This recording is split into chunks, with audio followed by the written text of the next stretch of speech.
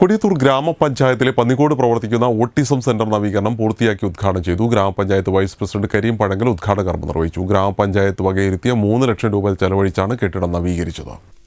Autism ബാധിച്ച വിദ്യാർത്ഥികൾക്കായി പ്രവർത്തിക്കുന്ന പന്നിക്കോട് ഓട്ടിസം സെന്ററിന്റെ നവീകരണ പ്രവൃത്തി പൂർത്തിയാക്കിയാണ് ഉദ്ഘാടനം ചെയ്തത്. കൊടിയത്തൂർ ഗ്രാമപഞ്ചായത്ത് അനുവദിച്ച മൂന്ന് ലക്ഷം രൂപ ചെലവഴിച്ചാണ് സെന്റർ നവീകരിച്ചത്. കെട്ടിടം പെയിന്റ് അടിച്ച് മനോഹരമാക്കുകയും ശിശു സൗഹൃദമാക്കുകയും ചെയ്തിട്ടുണ്ട്. മുറ്റം ഇന്റർലോക്ക് പതിക്കുന്നതിന്റെയും ചുറ്റുമതിൽ നിർമ്മിക്കുന്നതിന്റെയും പ്രവൃത്തി അടുത്ത ദിവസം നടക്കും. നവീകരിച്ച കെട്ടിടത്തിന്റെ ഉദ്ഘാടനം ഗ്രാമപഞ്ചായത്ത് വൈസ് പ്രസിഡന്റ് കരീം പഴങ്കൽ നിർവഹിച്ചു.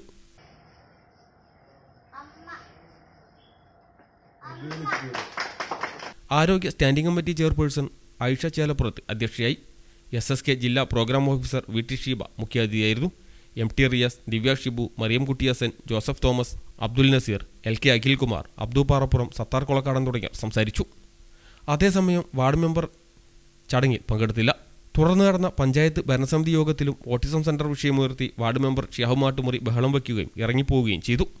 എന്നാൽ പ്രസിഡന്റിന്റെ അഭാവത്തിൽ ചടങ്ങിൽ അധ്യക്ഷത വഹിച്ച താൻ അജണ്ടകൾ വായിക്കാൻ തുടങ്ങിയപ്പോൾ മെമ്പർ ബഹളം വയ്ക്കുകയായിരുന്നുവെന്നും അജണ്ടകൾ വായിച്ചു കഴിഞ്ഞതിന് ശേഷം അവസരം നൽകാമെന്ന് അറിയിച്ചിട്ട് പോലും വഴങ്ങാൻ തയ്യാറായില്ലെന്നും വൈസ് പ്രസിഡന്റ് കരീം പഴങ്കലും പറഞ്ഞു.